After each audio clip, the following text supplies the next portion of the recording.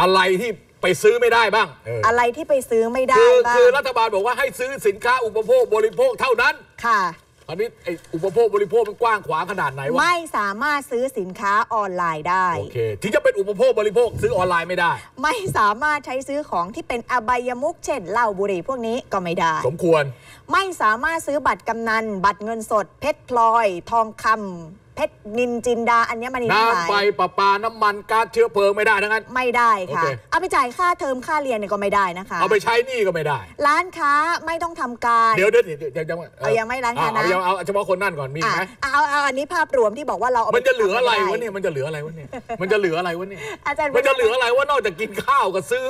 ซื้อของยาสีฟันสบู่อะไรพวกเนี้ยแป๊บเปิ๊บอะไรพวกเนี้ย อาจารย์เวลานั่นน่ะนุ่นนะไม่ชอบตีความคำนี้เลยอะว่า ไอ้เรื่องของค่าบริการนะคะแล้วเราเอาไปใช้ได้หรือเปล่าไม่เนี่ยน่าได้ ไม่น่าได้ยังไปซื้อประกันไม่ได้แต่ผมว่าไม่ได้แต่อันนี้ก็ขึ้นอยู่เขาออกแบบนะ เปลี่ยนยางรถยนต์เออไม่ได้ไหมอะเออไม่แน่เว้ยไม่แน่เปลี่ยนอะยางรถยนต์ซื้อยางไงค่ะซื้อยางรถยนต์น่าจะได้นะนุ่นว่าเขายังไม่ได้ลงรายละเอียดมา มันจะอีกร้อยอีกเยอะแยะไปช่างเถอะไม่เพเป็นราะไรยังไม่ไฟนอลยังไม่ได้สรุป